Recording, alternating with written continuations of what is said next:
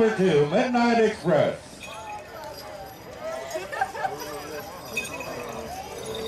Carl, Lula's brother Carl, he does horseshoeing. Oh, does he? I said, yeah, it's all whole lot. You got the horseshoeing chaps, the ropes and everything. Wow.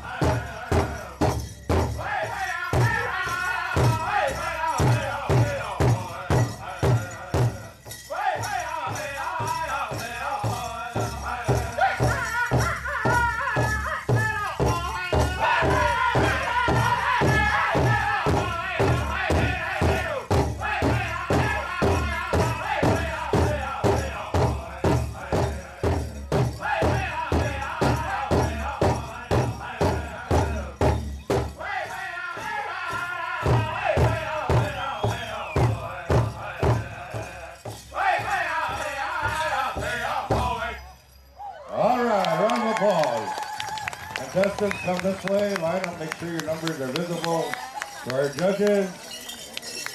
And we'd like to have all of our cowgirls come on out.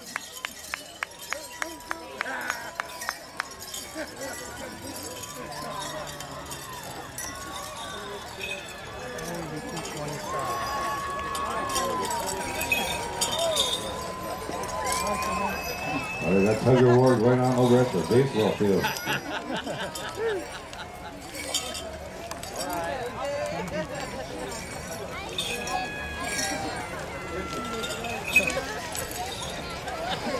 Pretty good.